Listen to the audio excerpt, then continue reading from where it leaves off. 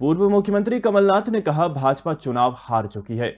कुछ exit poll जानबूझकर ऐसे बनाए गए हैं, जिससे कांग्रेस कार्यकर्ता हतोत्साहित हो जाए। कमलनाथ ने कार्यकर्ताओं से कहा, आप पूरी ताकत से मैदान में उतरे। प्रदेश कांग्रेस अध्यक्ष कमलनाथ ने कांग्रेस के सभी कार्यकर्ताओं को पूरी ताकत से मैदान में उतरने को कहा है।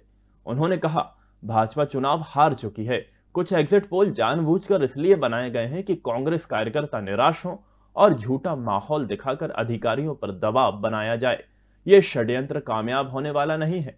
कांग्रेस के सभी पदाधिकारी जिला अध्यक्ष जिला प्रभारी, मोर्चा संगठनों के प्रमुख और प्रकोष्ठ के पदाधिकारी अपने अपने काम में जुट जाएँ और निष्पक्ष मतगणना कराएँ।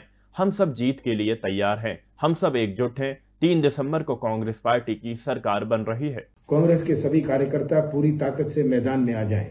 भाजपा चुनाव हार चुकी है।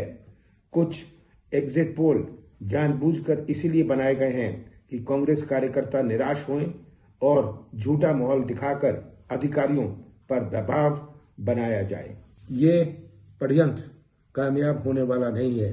कांग्रेस के सभी पदाधिकारी, जिला अध्यक्ष, जिला प्रभारी, मोर्चा संगठन के प्रमुख और प्रकोष्ठों के पदाधिकारी अपने अपने काम में जुट जाएँ और निष्पक्ष मतगणना कराएँ। हम सब जीत के लिए तैयार हैं। हम सब एकजुट हैं।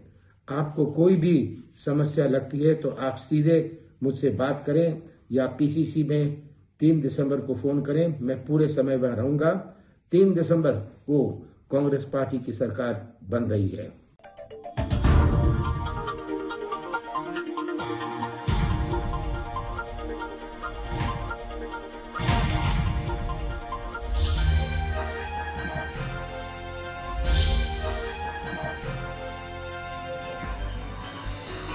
आप देख रहे हैं दखल न्यूज़।